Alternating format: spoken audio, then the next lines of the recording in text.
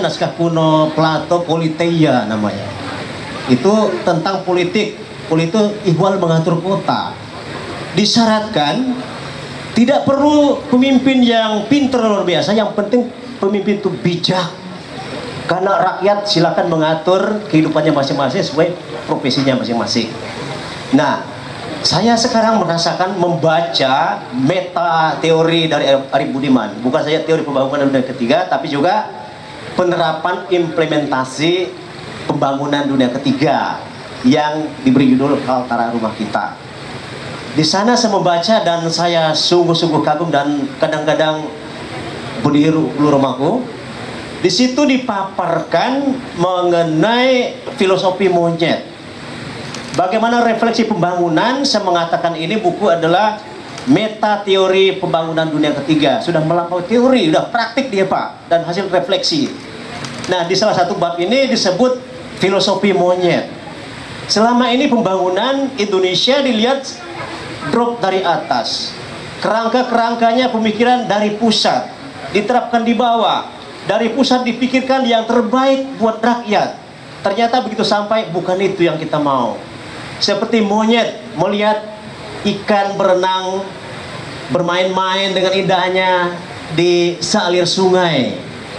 Oh, alangkah kasihan ikan-ikan itu hidup di sungai nggak bisa ke darat.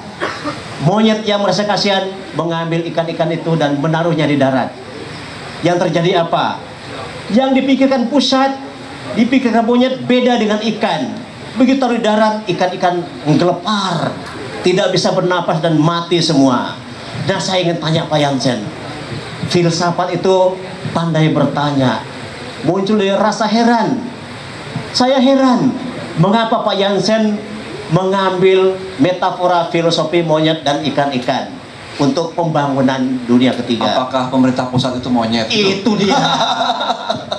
yang kasihan oleh ikan kalau diangkat jadi ikan baik, mati. ya. Tidak bisa Ada dua pertanyaan dari kita ya. Tadi Ya. Pak apa Pak Sabto juga bertanya. Jadi kami ini di sini bukan hanya menjawab tapi juga bertanya juga. Jadi Anda yang ada di sini silakan bertanya. Di grup eh, di Zoom sudah banyak yang bertanya. Jadi silakan di sini bertanya, catat ditulis dulu biar nanti ketika saya kasih kesempatan eh, berbicara bertanya udah langsung bisa gitu ya. Eh, silakan Pak Yansen dijawab. Ada pertanyaan Pak masih dulu ya tentang filosofi monyet. Nanti jawab pertanyaan Pak Sabto juga dijawab tentang eh, yang tadi teori apa? teori pembangunan. Ya kalau pertanyaannya singkat aja, tapi jawabannya amat panjang. Jadi begitu ya. Tapi saya pikir kalau saya jawab satu persatu amat panjang. Bagaimana saya mencoba untuk mengambil satu tema saja untuk menjawab ketiga-tiganya. Yang satu bicara unity, unity. Kira-kira apa maksud menulis buku ini? Kemudian yang satu tanya soal filosofi monyet tadi.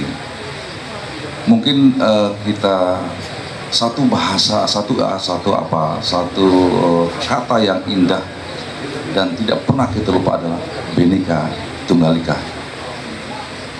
Nah, Bhinneka Tunggal Ika artinya Indonesia ini dianugerahi oleh Tuhan luar biasa. Manusianya beraneka ragam, suku, latar belakang dan budayanya. Jadi kalau menurut saya tidak mudah ngurus orang yang seperti itu. Kalau saya ngomong satu kata, saya harapkan yang berbeda-beda itu bisa nangkapnya sama. Nah, jadi oleh sebab itu untuk mempertegasnya saya ajak kita untuk mencernai ada syair lagu Indonesia. Bangunlah jiwanya, bangunlah badannya. Mari kita jangan Indonesia Raya. Indonesia Raya. Merdeka merdeka. Aku negeriku yang ku cinta Indonesia Raya. Merdeka merdeka. Hiduplah Indonesia Raya Indonesia Raya silakan duduk Luar biasa, merinding saya. Ya, lanjutkan. Tepuk tangan boleh, Ya. tepuk tangan. Yang di Zoom tepuk tangan boleh, yang di Kaltara TV tepuk tangan boleh, yang di Kompas TV tepuk tangan boleh. Silakan. Ya, biar senang semuanya ya. Oke, silakan. Jadi begini Pak, Eh, menjawabnya saya menggunakan eh, semangat seorang filosofi fil- filosofi ya Ya tapi nanti yang di sebelah ini yang mungkin butuh waktu untuk mencernanya. Ya. Jadi begini, eh, saya selalu berpikir bahwa apa pun yang kita buat harus menjawab masalah. ikatlah Kadang-kadang orang berpikir membangun itu nun jauh di sana, jadi kerja keras kejar ke sana. Tetapi dia lupa sebenarnya dia sedang berjalan. Menjalani kehidupan. Kalau kita bicara membangun Indonesia, apakah kita menunggunya di sana atau sedang mengerjakannya? Nah jadi saya kira rumah kita Tadi. Pak Sabto mengatakan seorang pemimpin harus memiliki sebuah Ya, tadi sudah disebutkan beberapa jawaban terhadap apa pun yang dilakukannya eh, harus mampu dicernai, dipahami, bahkan dilakukan oleh setiap orang. Ya, ini di sini saya akan Katakanlah saya sebagai pimpinan daerah atau pimpinan kantor. Di ruang itu ada banyak orang. Tapi semua bisa mencerna memahami apa yang akan saya lakukan. Nah, bagaimana itu bisa terjadi? Inilah yang sangat luar biasa menurut saya. Konsep berpikir, konsep bertindak dan gaya kiri. nasional kita, negara kita. Jadi kepemimpinan nasional, kepemimpinan negara kita harus menjadi sebuah pemahaman real dari setiap orang pemimpin. Nah, apa yang saya ingin katakan di sini, ya. seorang pemimpin itu harus paham, mengerti jiwa dan semangat Indonesia itu. Selalu harus. Kenapa? Karena itu yang sedang harus dibangun. Dia tidak menunggu nanti untuk mendapatkan jawabannya. Tapi ketika dia melakukan apa pun yang dilakukan sebagai seorang pemimpin harus menjawab kebutuhan masyarakat Indonesia yang beraneka ragam itu. Nah, untuk itu dia harus memahami perspektif budaya bangsa kita, sikap perilaku bangsa kita harus dipahami dengan baik. Ketika dia melakukannya, semua orang bisa memahami, bisa mengerti dan bisa melakukan. Ini yang saya kira harus di. Nah, terlebih dari itu Kalimantan Utara. Kalimantan Utara ini Pak Pipi bersyukur juga rumah besar ini dihuni oleh aneka ragam suku bangsa. Kalau saya katakan Malaysia small Indonesia, saya kedua bisa katakan Kalimantan Utara ini small Indonesia. Dari segini segala jenis suku bangsa ada di sini dengan segala kebudayaan yang dimiliki lengkap ada di Kalimantan Utara. Nah, sehingga dengan demikian, siapakah seorang pemimpin yang mampu mencernai dan mampu memimpin orang sebanyak ini? Dan siapakah orang-orang yang bisa memahami cara berpikir, cara bertindak, cara berbuat seorang pemimpin? Nah, ini harus di- dimiliki pemimpin. Jadi saya kira bisa dipahami bahwa dia harus lengkap daripada pemikiran-pemikiran umum. Nah, oleh sebab itu saya kira ya di buku ini saya mengungkapkan bahwa seorang pemimpin itu yang harus dilakukan adalah, dilakukan adalah memahami perspektif dasar kehidupan bangsa bernegara yang ada yang dimiliki oleh masyarakat Kalimantan Utara itu. Nah jadi saya tidak punya niat lain Pak Mas Pak Pak Pipi. Di balik itu tidak ada. Saya dikatakan seorang ilmuwan karena menulis. Ya, saya orang praktisi karena saya orang pemimpin. Ya, jadi saya kira yang saya ingin capai adalah ini loh. Kalau kita ingin lakukan sesuatu, ini loh uh, yang harus kita lakukan. Begini loh harus melakukan. Kenapa? Karena ini seperti ini. Nah, jadi saya kira saya tidak ada niat di balik itu. Tetapi kalau ada sesuatu itu Tuhan yang menentukan. Jadi saya tidak menjawab pertanyaan Bapak. Wah, saya mau jadi ini seperti Bapak ceritakan Pak Jokowi jadi itu. Saya yakin Pak Jokowi pun juga tidak pernah berpikir kalau kemudian dia jadi presiden tidak akan pernah. Tetapi ketika dia menjadi wali kota Semarang, eh Solo, beliau melakukan apa yang harus dilakukan sebagai seorang wali kota. Sehingga dari itulah orang mencerna bahwa ini cocok untuk ini, cocok untuk ini, dan kemudian jadi presiden. Jadi saya kira di balik ini tidak ada maksud lain selain saya ingin berbuat sesuatu yang terbaik untuk Ya. Kalimantan Utara. Oke. Terima kasih. Kesimpulan saya Bapak cocok buat Indonesia. Udah, makasih. Oke, baik. Karena Indonesia butuh tokoh-tokoh yang bineka tunggal ika. Indonesia diberikan keberkahan luar biasa, beragam suku, beragam agama, beragam kelompok yang tidak dimiliki oleh bangsa lain dan kita berada di situ dan kita butuh orang-orang yang bineka tunggal ika bukan hanya dari ucapan, pikiran tapi juga dengan tindakan. Oke, ada pertanyaan Pak dari eh, Zoom nih ya. Siap-siap yang Zoom, ini pertanyaannya akan saya bacakan. Bapak jawab pendek-pendek saja. Pertama dari Pak Mansur Kayantara, ya. Pertanyaannya ada tiga. Satu sudah dijawab sebenarnya, yaitu intisari buku Kaltara Market ini apa Pak? Soalnya belum mendapatkan bukunya. Ya, nanti Bapak dapatkan di toko buku eh, Gramedia Tarakan, Pak ya. Eh, itu tadi sudah dijelaskan intisarinya. Kemudian yang kedua, berapa lama buku ini Bapak tulis? Karena Bapak sibuk sebagai kepala daerah. Jam-jam berapa saja Bapak biasa nulis? Pendek saja, Pak. Berapa lama, Pak? Lima bulan, Lima bulan. Oke. di mana sepun saya berada, asal ada waktu, tempat, mengetik, meletakkan laptop, saya kerja. Oh, itu benar prinsip penulis banget, Pak. Itu penulis begitu, di mana pun berada kita nulis ya. Tapi yang paling produktif ketika saya terbang di pesawat. Jadi jam-jam beliau terbang ya, tolong dicari tuh jadwal terbangnya Bapak ya.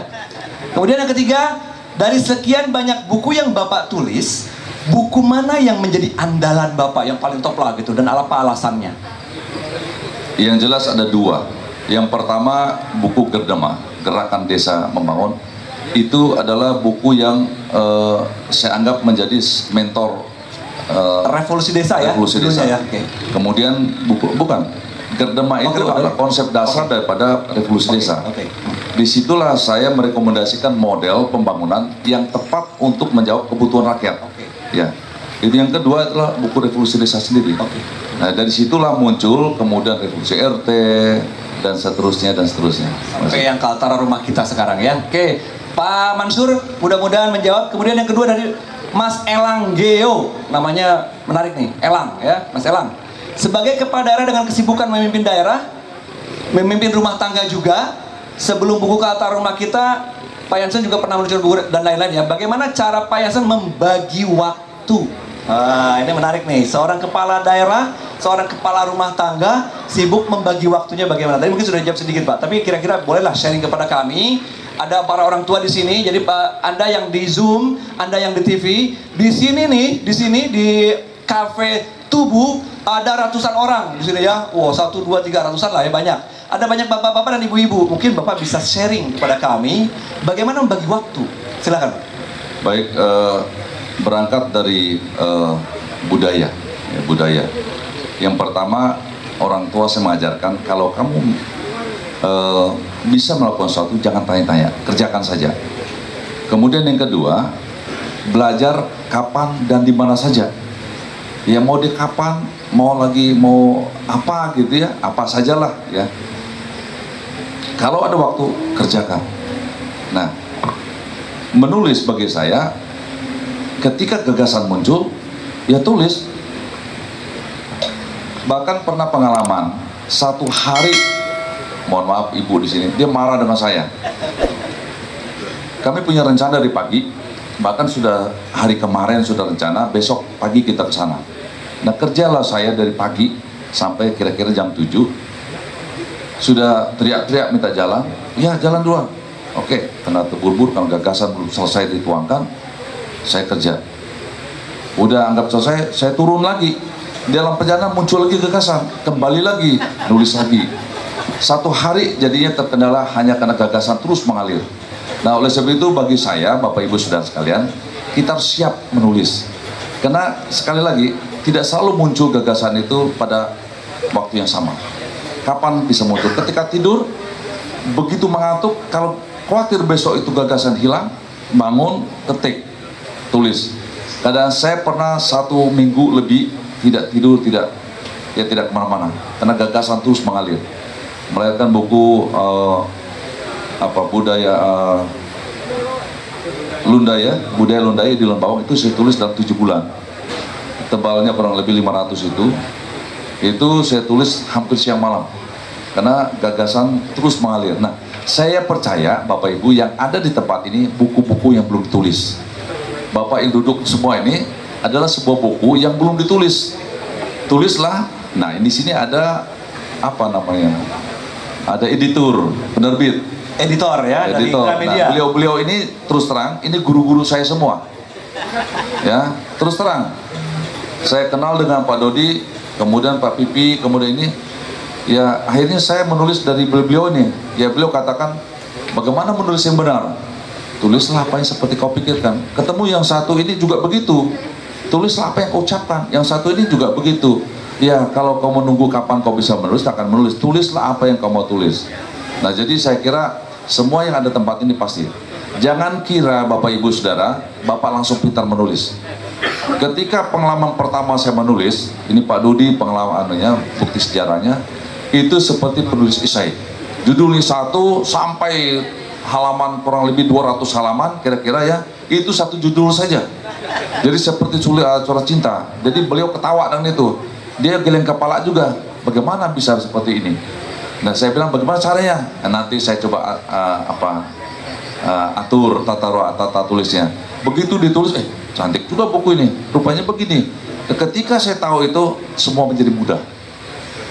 Jadi oleh sebab itu saya harapkan kepada kita yang ada di tempat ini bahkan yang di mana saja kearifan-kearifan lokal Indonesia sangat luar biasa dan kita semua lama ini hidup berinteraksi dengan itu mari kita semua tulis gagasan ketika kita mencenai sesuatu tulis kalau tidak mampu sendiri bergabung nah ini yang saya kemarin telurkan dalam apa penulis kreatif itu di mana ada 40 orang menulis ya 100 lebih menulis tapi yang berhasil melahirkan karya tulis ada sekitar 39 orang.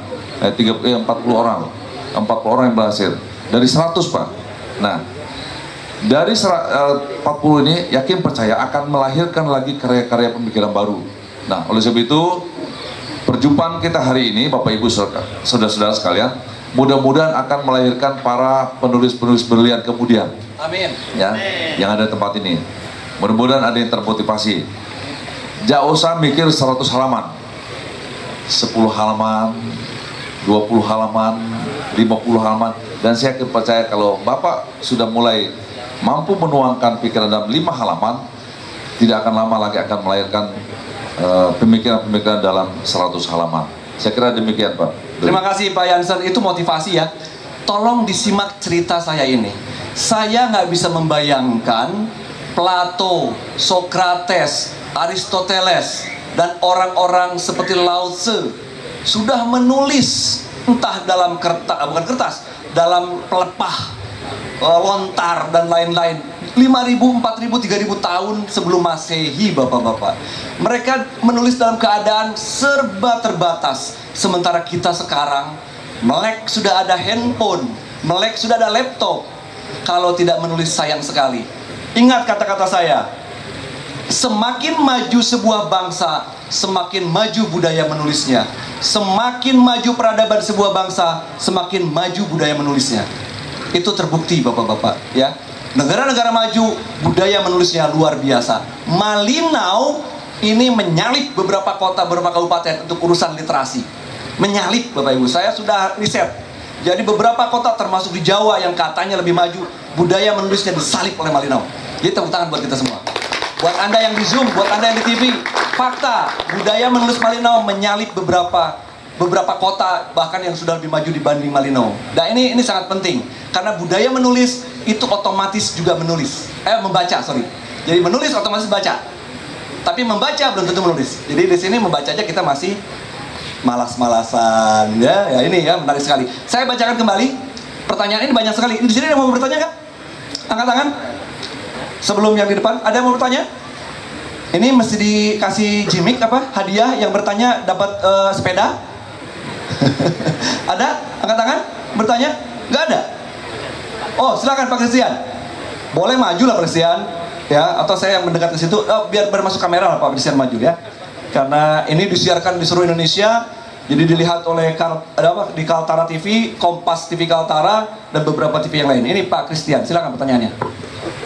Selamat malam. Eh, selamat pagi.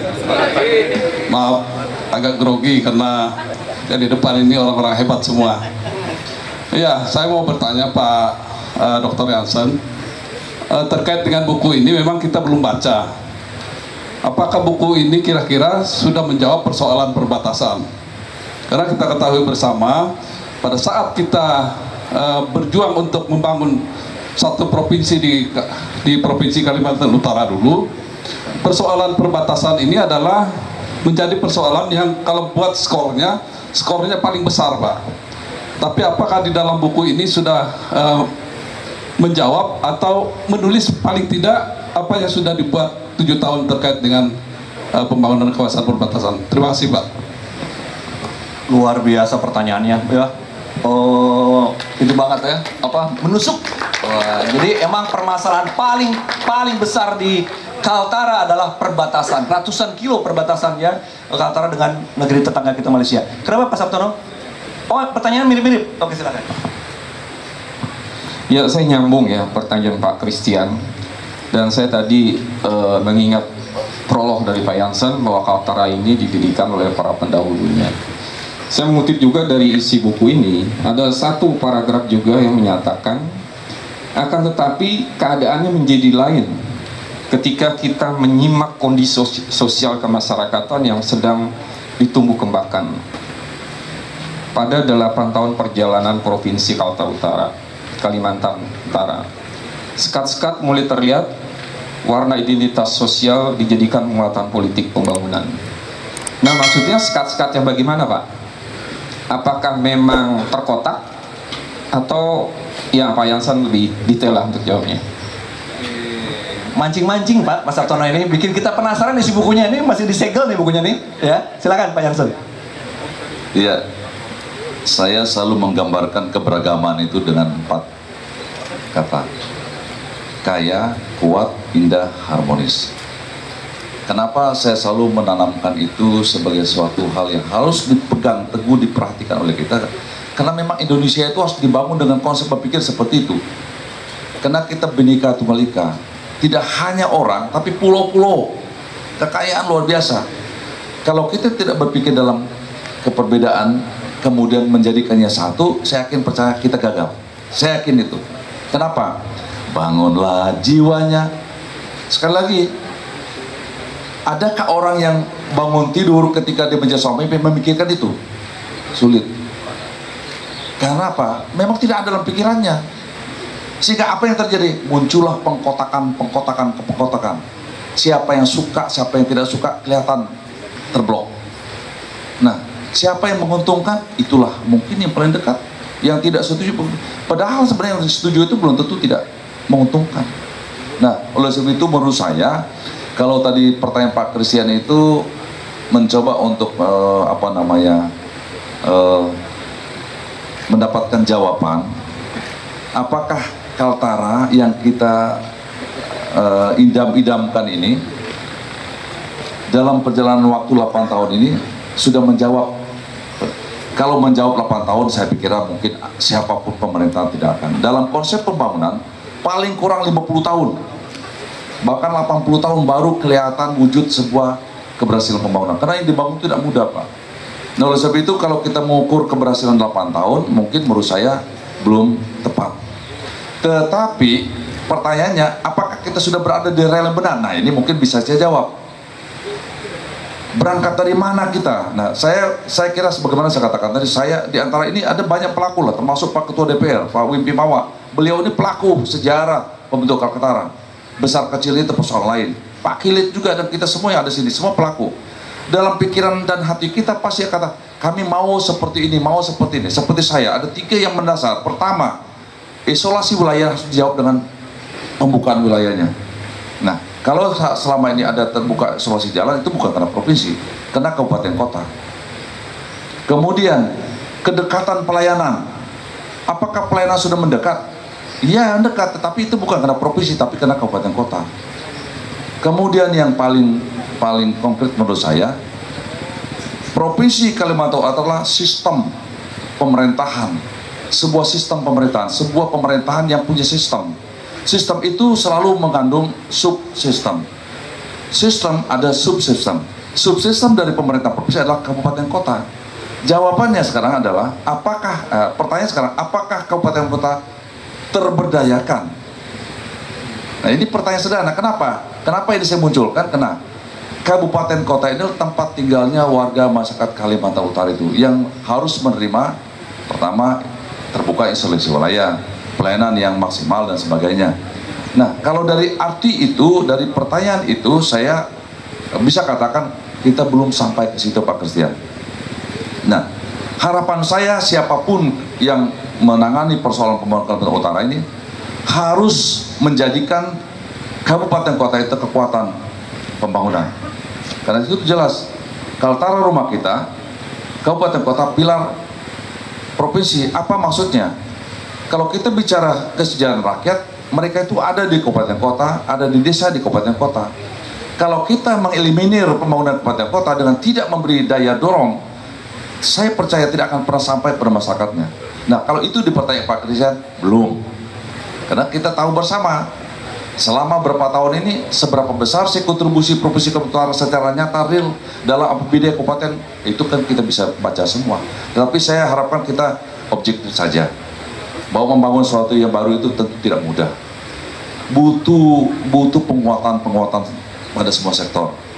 Jadi tidak melulu itu kesalahan siapa siapa, tapi saya kira Tertaruh rumah kita mencoba untuk mengungkapkan apa sebenarnya yang menjadi masalah kita. Apa yang harus kita tangani ke depan dan bagaimana cara kita menangani ke depan. Mungkin sederhana saya bisa mengungkapkan sesuatu. Mungkin ini menjadi perdebatan orang.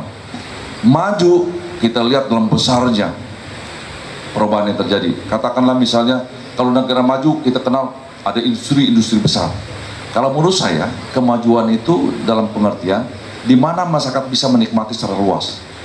Nah, itu artinya tidak mesti dalam dalam industri besar, tapi dalam industri home industri oleh UKM UKM hidup di setempat itu sudah menghidupkan banyak orang.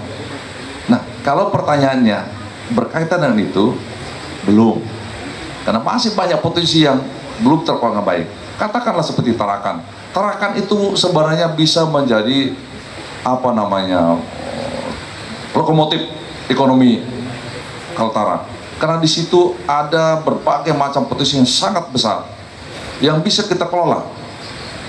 Kalau pertanyaan berkaitan itu masih belum. Nah, 8 tahun tentu belum cukup. Tapi paling tidak apa yang saya sebutkan tadi itu tersentuh, itu terkelola. Kalau itu tertutup, kalau berarti kita sedang berjalan ke tujuan yang benar. Dari tujuan pembentukan Kalimantan Utara itu sendiri. Mendekatkan pelayanan, memaksimalkan pemberian perhatian pada masyarakat, secara perlahan pasti akan sampai. Tapi kalau kita tidak melakukan itu, saya akan percaya kita gagal. Oke, ya. baik. Jawaban yang meneduhkan. Seteduh alam semesta di, di kafe tubuh di pinggir sungai sesayap, sepoi-sepoi angin, ya luar biasa ya. Uh, kalau anda yang di Zoom, anda di YouTube, anda di TV Kaltara, Kompas TV dan lain-lain, datang ke sini. Ini cuacanya luar biasa. Tuhan semesta mudah-mudahan mendukung kita semua dengan energi positif ya. Pak Dodi, uh, mungkin saya ya. ingin mempertegas tadi ada pertanyaan soal sekat-sekat tadi ya. Uh, di sinilah saya kira juga kelemahan dari uh, banyak pemimpin. Yang dibangun itu kan masyarakat Indonesia dengan segala latar belakangnya. Oleh sebab itulah tadi saya katakan pemimpin itu harus unity berpikirannya. Begitu dia melakukan sesuatu itu semua orang harus merasakan. Katakanlah sampai contoh Malinau. Saya katakan tabu bicara agama. Karena agama itu akan menimbulkan sekat. Tabu bicara suku itu menimbulkan sekat. Dikala orang sudah mulai bicara agama, bicara suku, sebenarnya itu sudah membuat sekat-sekat. Nah kenapa? Itu udah final Pak Kenapa saya katakan final? Kita bicara Bhinneka Tunggal Ika. Bagi saya Bhinneka Tunggal Ika itu barang hidup. Karena ada dalam diri saya. Saya menghargai orang, saya menghormati orang, kita cipta toleransi, itu membangun Indonesia. Nah oleh sebab itu, saya tidak katakan ya, silakan kita mencenai situasi kita.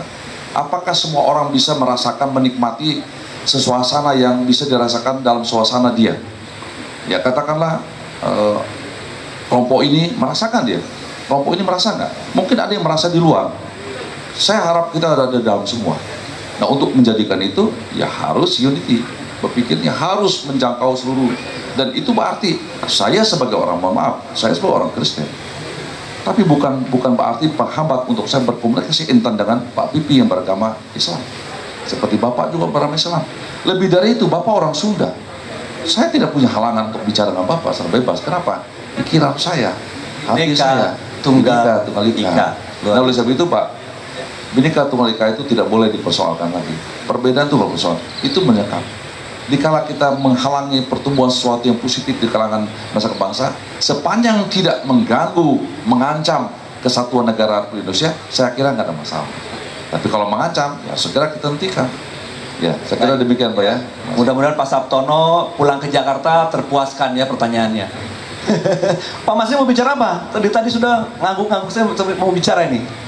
filsafat tuh Pak Dodi tidak mesti mengkerut dahi muncul dari rasa heran atau taumasia bahasa Yunaninya kenapa ada siang kenapa ada malam kenapa kalau kalau sore itu hari gelap gitu nah tolong lihat cover bukunya Pak Ya. di situ kan ada ilustrasi pelangi Pak kalau saya nggak salah ini hasil jepretan Asimika ya di di Bak Binuang di Krayan Tengah ya Pak ya sore hari ada pelangi saya heran kenapa Pak Yansen mengambil pelangi sebagai ilustrasi cover bukunya. Tolong jawab Pak, keheranan saya ini Pak. Heran saya ini. Ah, herannya seorang filsafat ya, seorang filsuf. Ya. Silakan Pak. Eh, Pak Masri, saya kasih hadiah Bapak, walaupun saya nggak punya barangnya itu. Bapak temukan satu orang yang mengatakan pelangi itu jelek. Eh, coba angkat tangan ada yang bilang pelangi itu jelek? Pak Danion? Pelangi indah apa jelek Pak Danion? Indah. Oh indah kata Pak Danion. Pak Ya. DPR? Pelangi indah? Sangat indah. Pak Pastor izin? Pelangi indah beautiful? Ya. Bagus semua Pak. Gak ada yang jelek Pak. Jadi ki- kita boleh bisa bisa buktikan kalau kita tidak mengenal bahasa dari ekspresi kita katakan dia pasti katakan indah itu pelangi. Kemudian saya eh, sekedar baca apa namanya eh, semacam eh, tulisan yang mengatakan bahwa kenapa pelangi itu indah? Karena di antara perjumpaan dua warna ada sekian juta partikel yang menyatukannya. Coba bayangkan, dua warna, katakanlah warna eh, merah dan biru, dipertemukan oleh jutaan partikel. Bayangkan Pak, dua warna, ada jutaan partikel mem- mempertemukannya. Itu artinya tidak ada yang besar, tidak ada yang kecil. Semua menyatu dan sebuah kesenyawaan yang tidak bisa diungkapkan oleh kata-kata. Nah, Coba kita renungkan Bapak Ibu Saudara, siapa yang ada di Indonesia yang mengatakan agamanya tidak benar? Tidak ada. Siapa yang mengatakan sukunya yang yang tidak benar? Pasti semua katakan semua bagus, bagus, bagus dan bagus. Kalau seperti itu halnya, bagaimana mempertemukan yang sedemikian rupa itu? Inilah kehebatan Indonesia itu. Kita memiliki apa yang namanya the best ideology, yang namanya Pancasila. Nah, jadi oleh sebab itu Pak Masri, saya hanya mengambil simpulnya saja. Pemaknaannya, silakan kita terjemahkan masing-masing dalam eh, retorika narasi pikiran kita. Tetapi jangan lepas dari keindonesiannya. Pasti kita katakan akan luar biasa Pak. Coba renungkan, di sini ada orang hitam kulitnya. Tadi MC kita kalau nggak salah itu dari NTT NTT ya, Pulau Alor. Pak, dari Alor. bertemu dengan orang Dayak yang yang kulitnya putih, rambutnya lurus. Tapi tidak ada pernah ada perasaan bahwa mereka itu berbeda. Ini kan hal yang luar biasa. Berarti intinya Indonesia ini ibarat kata pelangi, sebuah pelangi yang luar biasa indahnya. Jadi oleh sebab itu Pak Pak Pak, Pak Masri ya pelangi dalam artian sebuah simbol ciptaan Tuhan menyatakan bahwa semuanya indah. Oke. Oh, eh, seorang filsuf memang selalu penasaran ya. Kenapa warnanya biru dan merah nih contohkan tadi gitu ya? Iya. Oh, ya? Karena kalau dibahas di keilmuan teori itu ada teori simbolik interactionism itu dari Blumer pak. Dan teori semiotika itu dari yang namanya Jacobson juga dari Umberto Eco pak. Itu profesor dari eh, dari eh, Italia pak ya. ya. Jadi mereka mengatakan bahwa kita eh, sebagai simbol-simbol. Kenapa buku itu ada warna birunya? Nah, kan bapak-bapak bisa menafsirkan kan ya? Ya, bertanya ya, Ya. kenapa biru gitu ya? Kenapa biru? Jadi itu simbol homo simbolikus. Jadi saya pikir Pak Jansen ini sebuah buku yang belum habis digali. Tapi Ada- Bapak jangan memaknakannya lain, Pak. Ya, Kalau warna kuning di di anu dengan warna hitam kan jelek. Ya, Tapi kalau dipadu dengan warna biru kan Indah. kan. Pak. Iya. Jadi jangan dimanakan ke lain-lain lagi. Oke, Ya, siap, siap. Ya. Mananya harus terarah ya. Nah ini Tolong, ya. penegasannya. Baik, jadi saya pikir ini Pak penuh dengan simbol buku Bapak. Berarti setiap orang memaknai dengan caranya sendiri bisa ya. Ya mungkin ini perlu saya sampaikan ke bapak-bapak ya. Dulu ketika saya kuliah, saya berangkat kuliah, seperti orang yang eh, seperti apa namanya, pergi berperang, menang nggak, pulang nggak ini nanti. Eh, ketika saya ke sana, saya katakan saya pergi kuliah, apa yang harus saya lakukan? Ya kuliah, ya belajar, membaca. Lalu bagaimana saya berpikir, bagaimana saya belajar yang baik, bagaimana saya membaca yang baik. Saya mencoba mencari buku-buku yang mengajarkan tentang itu. Termasuk tentang warna. Oleh sebab itu saya selalu terobsesi tentang warna. Tapi jangan dikatakan bahwa biru ada hubungan dengan saya. Ya biru itu ya seperti langit biru, ya indah. Ya saya ungkapkan juga biru itu memang indah. Teduh, ya tenang gitu ya. Jadi kira-kira begitu ya Pak ya.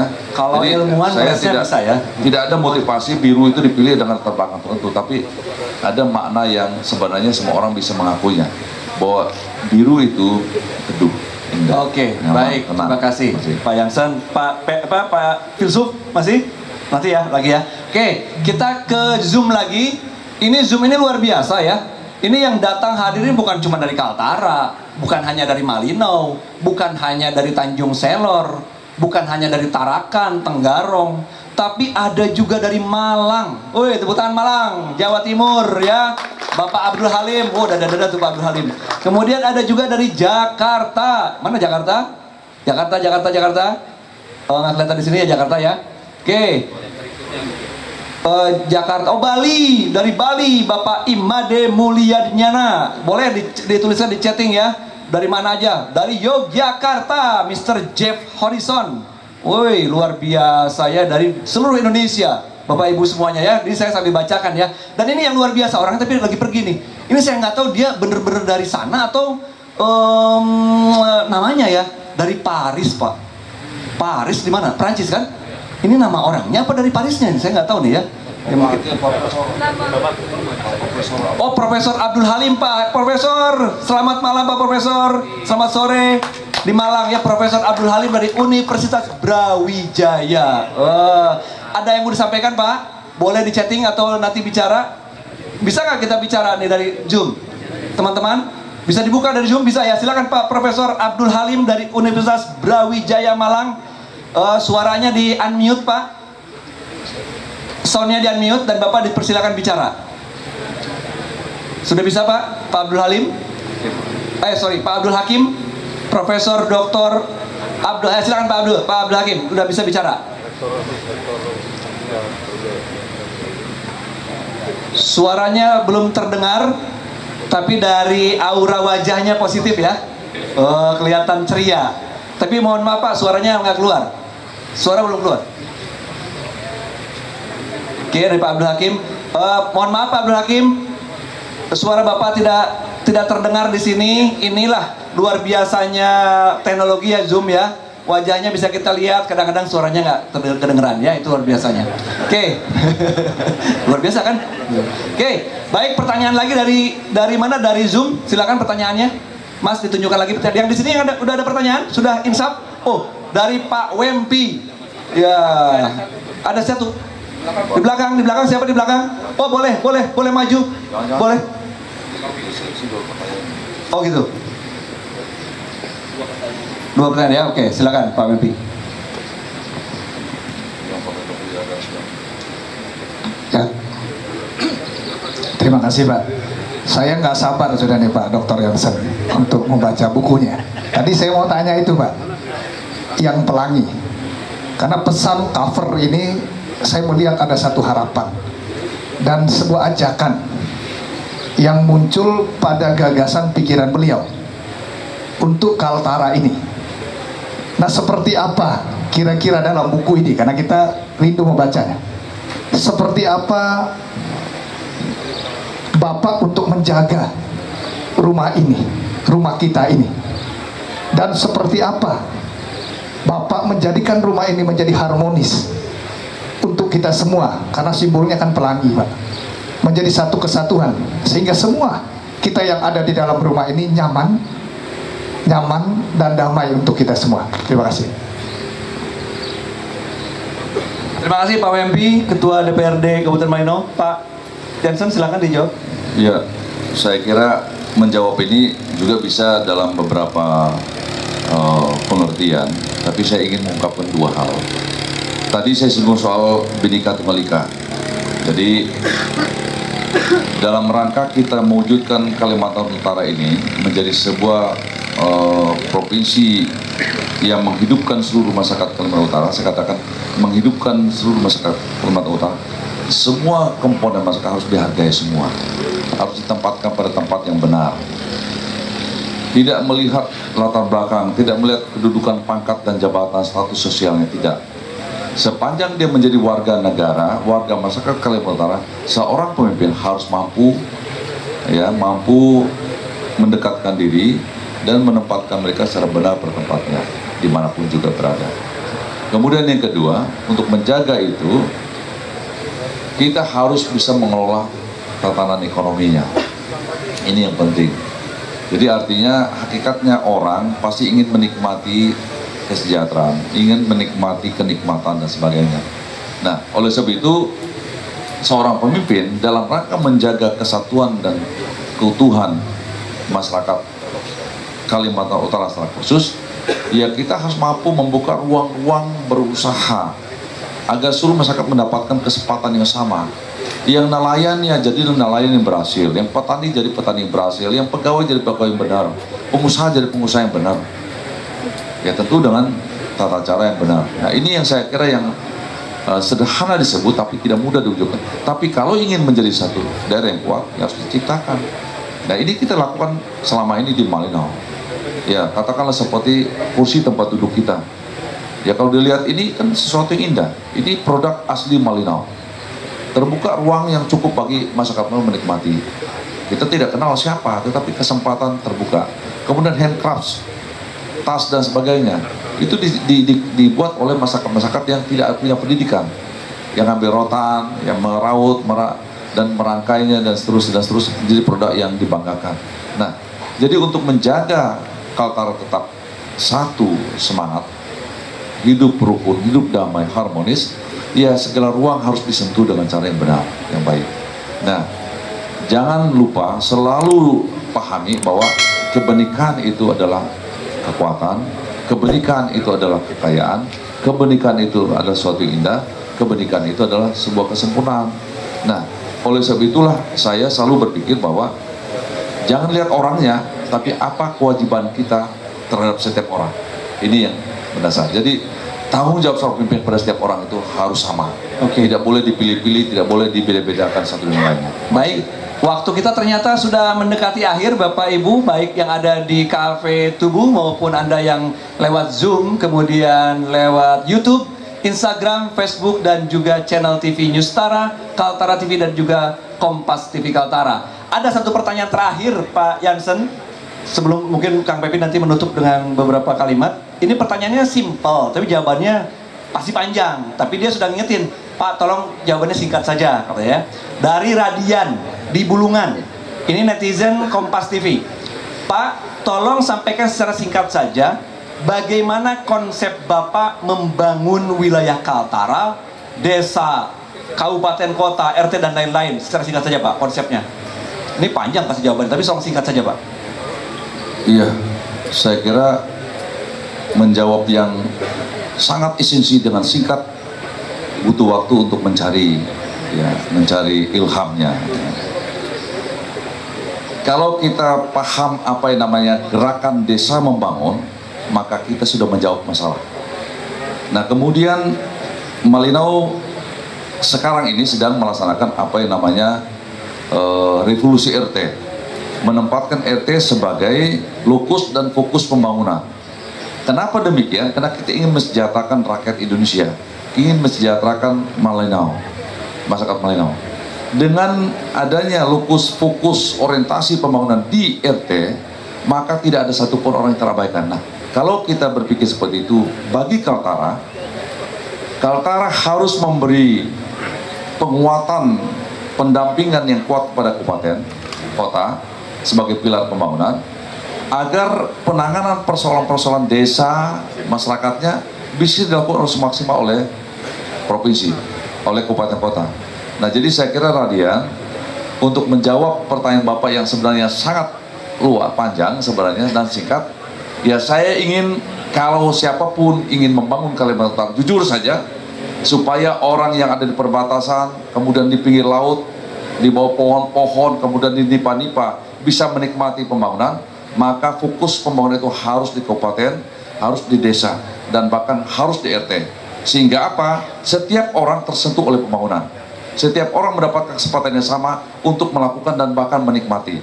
Oleh dari rakyat, oleh rakyat dan untuk rakyat. Prinsip dasarnya di situ. Nah sekarang mari kita lakukan siapa saja yang nanti memimpin Kalimantan Utara, saya harapkan harus berpikir seperti itu. Kasih. Jadi siapa pun yang nanti menjadi pemimpin Kaltara, bahkan saya bilang memimpin Indonesia harus baca buku Kaltara Rumah Kita, ya datangi toko Gramedia. Oke, eh, Kang Pepi satu kalimat saja untuk mengakhiri. Ini udah di akhir, udah satu menit dua menit, ya. Kang Pepi, Kang eh, Pak Masri juga siap-siap, Yusuf satu kalimat, Pak ini juga. Kemudian nanti kita tutup. Satu kata. Satu kata, Pak. Lanjutkan. Silakan Kang Pepi. Oh lanjutkan. Cuma satu kata. Oh, Lanjutkan. Satu kata, lanjutkan. Saya pikir satu kalimat, diminta satu kalimat, satu kata luar biasa. Lanjutkan. Oke. Tiga kata-kata, verba volan scripta manet. Bahasa Lunda yang Penjelasannya panjang, tiga kata sih, iya tiga yang kata. diucapkan berlalu tapi yang ditulis abadi. Saya mencermati pemimpin yang menulis seperti Cilik Riwut, Gubernur Kalteng. Temannya sebelah Gubernur Kalbar, Upang Urai, tidak menulis. Yang menulis itu abadi, dikutip terus menerus dan namanya abadi. Tapi yang nggak menulis sehebat apa pun orasinya akan berlalu. Verba volan scripta manet. Terima kasih. Itu sesuai dengan kata-katanya Pramudia Anantatur. Sehebat apa pun Anda, sehebat apa pun Anda, kalau tidak menulis karya, maka akan hilang di telan zaman. Saya nggak mau hilang telan zaman, makanya saya nulis terus. Oke, Pak Sabto, silakan. Oke, terima kasih Kang Dodi. Ya kalau saya sih closingnya eh, bisa dijadikan acuan ya. Bahkan kalau mau bicara fair, kita belak belakang bisa jadikan satu strategi nasional dengan apa yang sudah dilakukan Pak Jansen di sini. Bisa untuk next levelnya, Kang Dodi. Ya. ya saya rasa to the next level. To the next level, to the next level ya. Oke, menarik sekali. Silakan Pak Yansen untuk terakhir Bapak sampaikan. Eh, kalau ke Pak Yansen saya nggak bisa membatasi satu kalimat saja nih ya. Ya udah dua kalimat lah. Mengucapkan itu mudah, mengerjakan itu susah. Tapi lebih susah menjadikannya. Saya punya prinsip harus banyak tahu tentang banyak hal. Kemudian kita harus bisa melakukan apa yang kita tahu dan yang paling utama kita harus bisa mengerja, menjadikannya. Inilah hambatan yang paling besar terjadi. Orang banyak tahu tapi tidak bisa mengerjakannya. Yang paling celaka tidak bisa menjadikannya. Sehingga sampai hari ini kita tidak mendapat kenyataan bahwa banyak orang Indonesia yang tidak sejahtera, banyak orang Kaltara yang masih mengeluh, banyak juga orang Malinau juga yang masih belum menikmati walaupun sebenarnya dia sudah punya peran. Kenapa? Karena dia tidak berusaha untuk melakukan apa yang dia ketahui dan dia tidak berjuang untuk mewujudkannya. Jadi saya kira itu yang harapan saya. Hari ini kita mendengarkan apa yang saya sampaikan. Semoga nanti dengan membaca ini kita bisa mencernai di mana posisi saya. Tapi yang paling penting, mari kita berusaha mewujudkannya. Dan yang paling utama, jadikanlah Kaltara ini rumah kita. Luar biasa, tepuk tangan. Terima kasih Pak Masri, Sang Filsuf.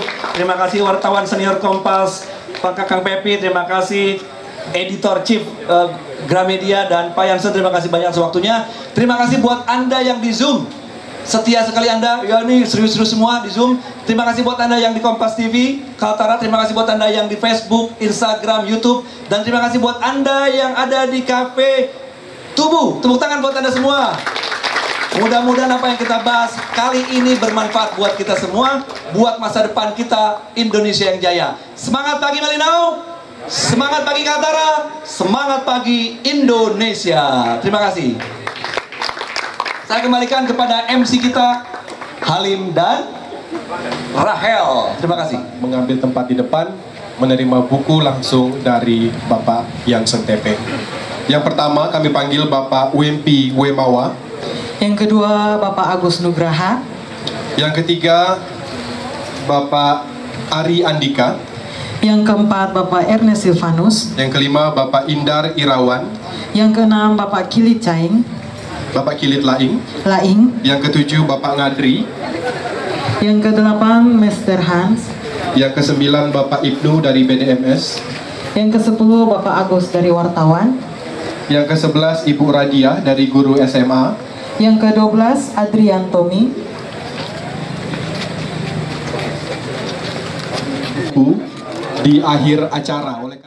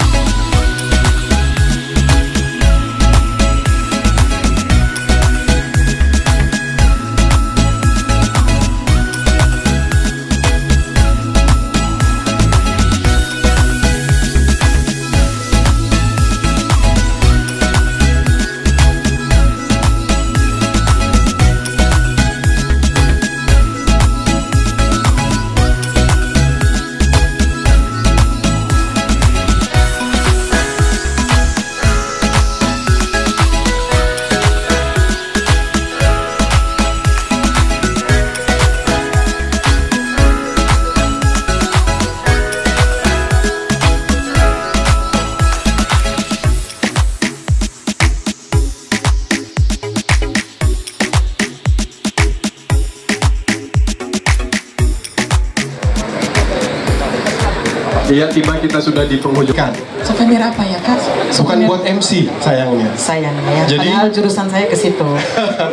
Um, Cafe Tubu um, telah mempersiapkan souvenir untuk penulis buku Kaltara Rumah Kita. Cafe Tubu telah mempersiapkan um, sebuah souvenir yang akan diberikan kepada Bapak Dr. Yansen TP MSI. Untuk itu, dengan hormat kami mengundang Bapak Yansen TP untuk dapat menerima. Ceritakan dulu ini dari bahan apa Pak? Luar biasa sekali nih kursi dengan mejanya, ukirannya.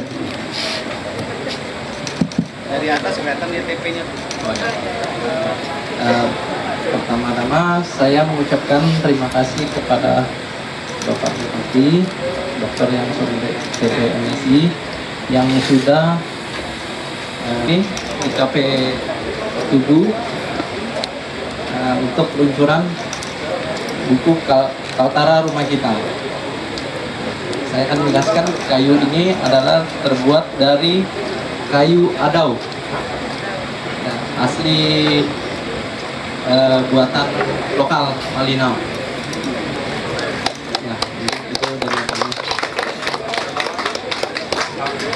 Ya. Pertama-tama saya bangga produk Malinau lahir dari anak muda ini namanya Hermano. Ya teruskan tingkatkan karya, kreasi, inovasi untuk eh, membangun eh, dunia usaha Malinau khususnya memberi kesempatan luas bagi UKM-UKM yang ada di mana untuk bisa berkontribusi dalam pembangunan dan mendapatkan kesempatan penghasilan. Terima kasih atas eh, apa namanya cenderamata yang luar biasa ini. Semoga ini tetap menjadi kenangan kami kepada Pak Hermanu dan keluarga dan khususnya Kafe Tubuh. Kita beri aplaus kepada Kafe Tubuh. Kafe Tubuh. Terima kasih.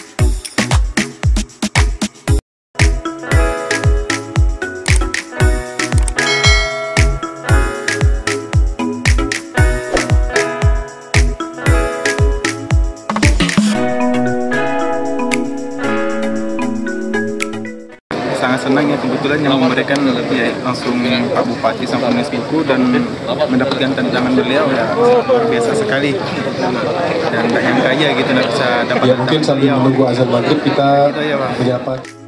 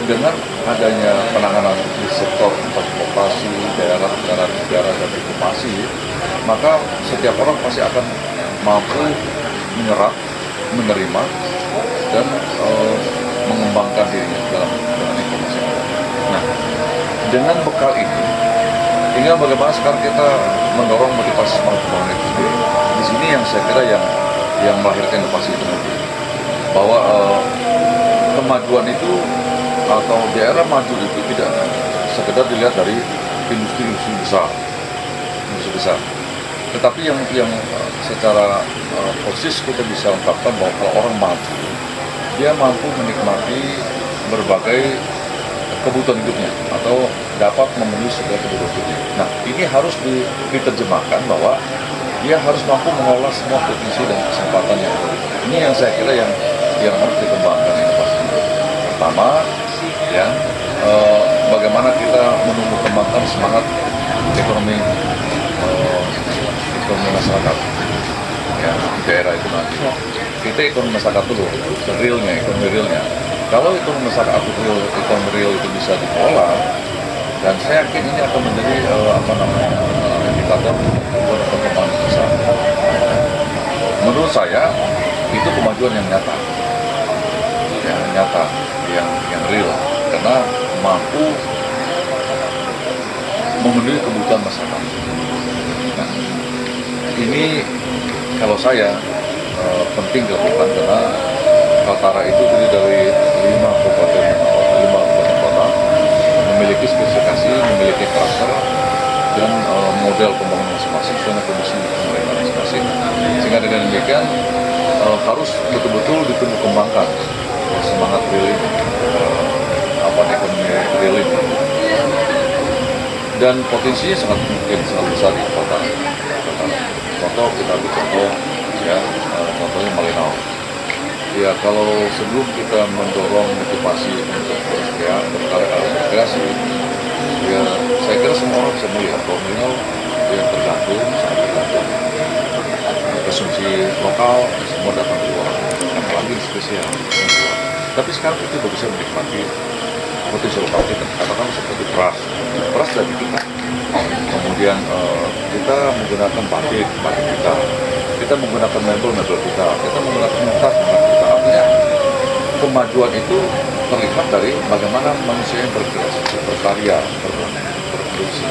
Dan ada produk. Ini ini cermin daripada eh, kemajuan. Nah, ini yang saya kira menjadi motivasi bagi saya secara khusus bicara kalau berpikir tentang Kaltara ya harus mampu memberi akses yang kuat pada penguatan ekonomi karena kalau kita bicara industri besar orang kalau masyarakat yang berjual ke dalam ada bisa tapi kalau kita mendorong mereka bisa berkarya dan mereka tidak sendirikan di masing daerah mereka akan menikmati hasilnya itu. ini yang yang kita bangun Jangan kita mau bilang bahwa orang terdepan sana, maju ke sana, tapi masih banyak yang tidak sampai. Ini kelemahan selama ini. Terlalu buru-buru mau sampai, tapi tidak akan pernah sampai. Kenapa? Semakin kita maju, semakin kita dengan dengan apa teknologi maju, semakin banyak yang tertinggal. Jadi marilah kita berangkat bersama-sama, membuang rentang waktu yang cukup pada lima tahun kita rakyat untuk bisa ber, berapa berekrut dalam berkarya dan secara perlahan tahun-tahun berikutnya akan semakin ber- berkompetisi dari saya. Ini yang saya kira harus dibangun Kaltara. Jangan buru-buru lah, tapi step per step masyarakat harus diberdayakan. Jadi event inovasi saya bisa tidak bisa menunjukkan inovasi apa, tapi dengan pikiran seperti itu kita bisa membangun inovasi. Dan itu yang saya lakukan di selama ini. Membangun inovasi-inovasi pada yang terkenal masyarakat oleh orang yang mungkin tidak kebuka seperti kuliner, ya kita punya bisnis makanan, tetapi kita tidak pernah menjadikannya sumber pendapatan. Muncullah kreativitas. Bagaimana kita membangun, membuat sebuah acara, kemudian mereka bisa menyajikan makanan mereka, orang berhibur, sampai piknik, menikmati suasana, berolahraga, tempat sadar belanja dan mendapatkan hasil bagi masyarakat. Kita senang berolahraga, sehat berolahraga, tapi juga membantu berbagi dan kan kreativitasnya di situ. Menjauh apa yang namanya wujudkan kesejahteraan bagi seluruh rakyat Indonesia. Kalau orang yang sudah mampu, yang kaya nggak usah bicara, tapi bagaimana yang kecil? Tapi kita selalu berpikir bahwa kita harus mempunyai, satu kemauan yang high, menjawab kebutuhan yang lebih tinggi, tapi masyarakat. Begitu kita menyentuh aspek dasar ini, ya dengan sendirinya akan naik. Ya. Karena sebenarnya kekuatan real yang paling, eh, kekuatan yang paling nyata ya, untuk mengakses pertumbuhan ekonomi yang besar, yang kuat itulah kekuatan real. langkah-langkah bapak bisa mewujudkan operasional daerah itu mungkin berkoordinasi dengan pemerintah dengan Ya, memang kita tidak berpikir bahwa membangun komunikasi dan berbagai lini itu memang tugas. Tapi bagi kita yang kreatif kalau seperti saya, saya tidak usah terlalu apa merasa sulit untuk membangun komunikasi sehat. Tapi media banyak, termasuk hari ini kita membangun komunikasi. Ya orang orang akan mencerna ini apa yang terjadi malam, apa yang dilakukan malam, apa yang bisa kita tangkap di situ karena sendiri informasi tersebar dari dari komunikasi kita melalui komunikasi Zoom ini kan memberi informasi yang banyak dan luas lain. Nah, ini terbangun dan suasana berpikir bahasa Indonesia seperti ini. Oh ternyata banyak punya kondisi gitu. Nah, kita bisa hidup dari situ. Nah, jadi ya saya kira eh, harapan saya eh, mudah-mudahan eh, pikiran positif itu yang muncul. Ya, muncul dengan suasana ini. Apa pikiran positifnya? Pertama dan orang-orang yang bisa berkarya. Paling tidak mewarnai Kalimantan Utara paling tidak mengangkat harkat martabat Kalimantan Utara paling tidak memberi motivasi kepada anak-anak Kaltara dan percaya sekarang saja kita bisa bertanya kenapa tidak? Maju atau bagaimana? Nanti tidak ada motivasi muncul dan itu semua tidak positif. Jangan lihat segini kan sisi selalu negatif selalu ada sangka. Uh, seperti tadi pertanyaannya kira-kira apa maksud bapak di balik? Saya pun tidak punya apa-apa di balik sana. Tapi yang saya yang saya lakukan adalah bagaimana saya punya gagasan karena saya bisa melihat bisa menyaksikan dan saya punya tekad bisa melakukan itu. Saya tawarkan gagasan saya lempar gagasan saya, saya tulis gagasan saya membaca.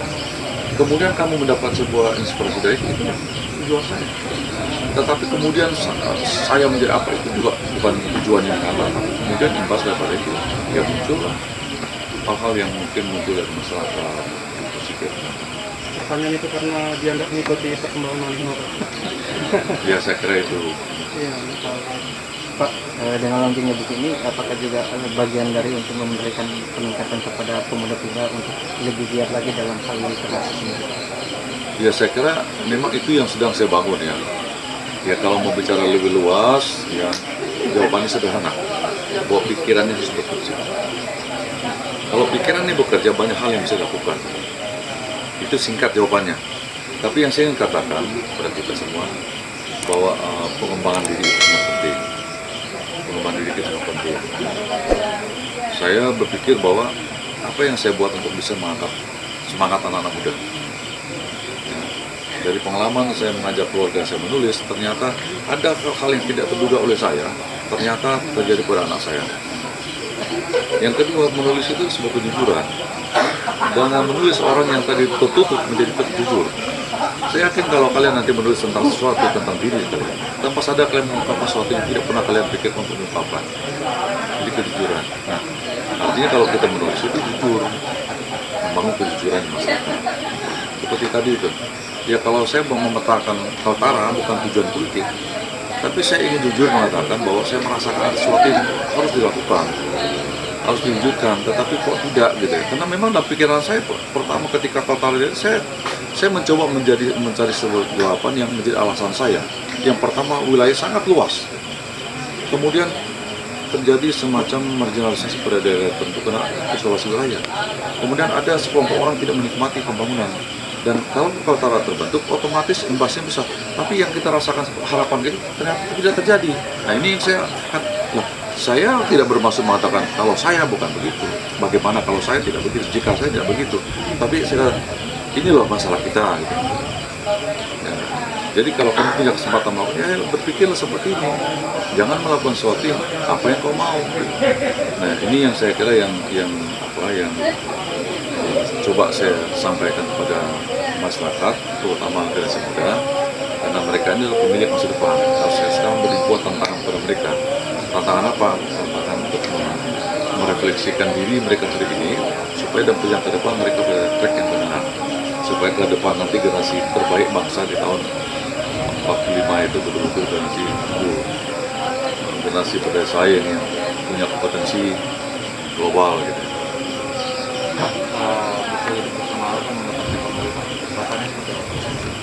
Ya saya kira yang pertama ya eh, sebenarnya tidak perlu tujuan tapi bagaimanapun strategi kita ingin membangun sebuah semangat harus dibuat satu momen yang yang benar-benar eh, bisa dikatakan momen ya, sebuah kejadian yang tercatat dengan baik. Ya. Mungkin ini eh, apa budaya saya yang dibentuk orang tua saya. Kalau mengejar satu jangan bertanya-tanya, kerjakan. Kalau melakukan satu jangan setengah, kerjakan dengan sebaik. Apa maksudnya? Menulis itu kan membuat catatan yang tercatat sepanjang masa. Nah kalau di, dimaksimalkan lagi tercatat di Mori, rekod Mori standarnya standar Mori. Ya memang betul kita lacak di, di eh, apa namanya di perpustakaan di internet atau di mana-mana, memang tidak ada buku seperti itu di, di mana-mana. Ya kalau dikatakan uh, Muri dunia, rekod dunia, ya dalam genrenya, dalam kelompok jenisnya luar biasa. Belum ada. Ada ada dua tiga orang penulis, tapi mereka adalah penulis. Tapi ini orang yang bukan penulis. Belum orang tahu bagaimana yang umur 6 9 tahun bisa menulis. Dia nggak tahu betapa gundanya saya ketika saya melihat mereka mulai menyerah. Begitu dia menulis buang, begitu bisa buang. Saya merasa gundah lihat itu. Karena saya katakan keberhasilan saya ketika saya bisa melihat mereka menuntaskan keputusan. Dan saya bersyukur saya bisa memotivasi mereka. Nah ini bagian ini kan orang nggak tahu nih. Kalau beberapa hari saya menggoda mereka supaya menulis sampai menyerah, saya katakan contoh misalnya begini ya. Ini kenyataannya. Ketika saya, ya sudahlah, biar kalian dia nulis. Saya bilang begini, jika sekiranya kau lihat lalu kau tidak lihat namamu, kira-kira perasaan seperti apa? Saya mau kamu senang, oh ini buku saya dan saya ada di situ. Bagaimana? Kalau gitu tulis. Dengan caranya dia nulis, apa yang kau pikir tulis, ternyata dia jujur sekali. Dia cerita semua apa ketika dia kecil. Saya bilang kalau ini diungkapkan juga tidak baik. Gua enggak. Ada. Kalau ketika dia kata saya suka ambil buah orang kan gitu kan. Saya kan tidak baik. Ah ini ternyata pencuri katanya kan. Padahal bukan pencuri karena pencuri dari anak-anak kalau lihat buat agama dan dia jadi ceritakan dengan jujur itu. Padahal kalau diceritakan disuruh cerita mungkin tidak mau cerita. Tapi begitu dia menulis dia nggak perlu ngomong jadi ini ya jadi eh, buku hidup bersama Allah itu tujuan utama saya ya pertama mendokumentasikan rasa bangga kepada orang tua. Ya saya tidak bisa pungkiri saya seperti ini karena orang tua saya. Kalau kalian tahu dia, tidak ada satu kata pun yang keluar dari mulut saya. Sekolah, sekolah, sekolah, sekolah. Hanya itu bisa mengubah kalian. Ya bosan saya mendengarnya, tapi akhirnya saya mencoba mencernanya. Belajar itu menambah, menambah, semakin menambah. Jadi itu sangat kebanggaan saya tidak paksa lagi kalau mereka sudah bisa nulis. Saya katakan coba kalian nulis kejadian setelah kalian merasakan kalian bisa berekspresi dan bisa tulislah jadi sebenarnya bukan buku itu pertama. Untuk kalian tahu? Bukan bukunya. Yang yang pertama adalah bahwa dia sedang berada pada yang itu nulis ini yang paling penting ya, jadi eh, jangan kita berpikir oh, saya mau nulis dengan bawa buku bukan itu. Tapi saya melakukan sesuatu yang benar. Itulah nilai saya. Ketika buku muncul menjadi dua. Buku lagi jadi tiga. Terus nah itulah itu. Belajar dan belajar berlatih dan berlatih. Belajar berlatih berlatih belajar. Hidup harus seperti itu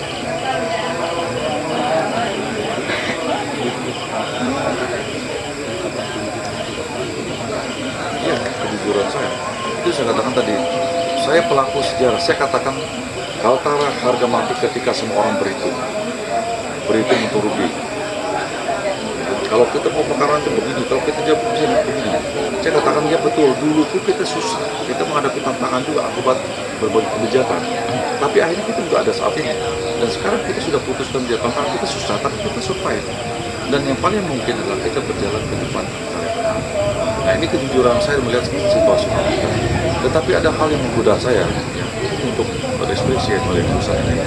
Dasar kita tidak melakukan seperti yang diharapkan.